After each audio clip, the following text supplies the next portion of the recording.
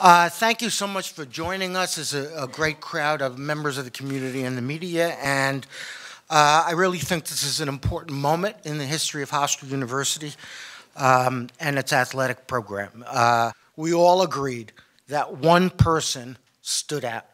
One person stood out above everybody else because we know he has the values and the experience and the success that exemplifies everything about Hofstra athletics, and he is the one to take us to the next level, and that is Rick Cole.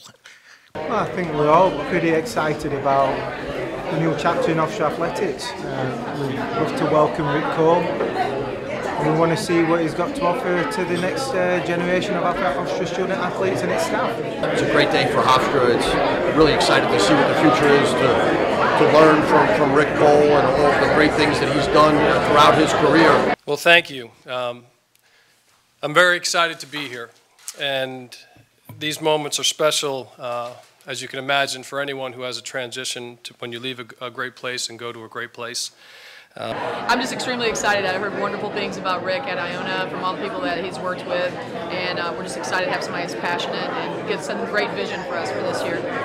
Very excited to meet the new, obviously, athletic director. Get to meet, even though I'm going to be heading out soon, and hopefully be around next year, be involved with uh, Hofstra and the whole community. So I think this is awesome that we have somebody who we know who is very passionate about Hofstra athletics and is looking to do great things with our programs.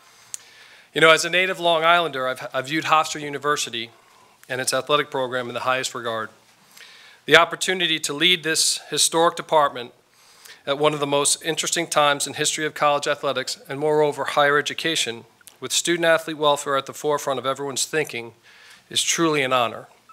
My family and I are thrilled to be here. Uh, you know, being a Long Island native and, and watching Hofstra for my entire life, um, both as a young person and as a collegiate um, student athlete and then as a professional in our business. Um, Hofstra has always been an institution that has had success that, that many in the area have modeled itself after. You know, its commitment to um, academic success and athletic success. I mean, it's Hofstra's athletics department. It's not an athletic department that sits off on the side.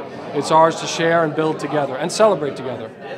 What really stood out to me was he not only has the talent that we were seeking, and he not only has the ideals, but he's got a proven track record of success in the New York metro market as an athletic director of a private university. And that's all I got. Go Pride.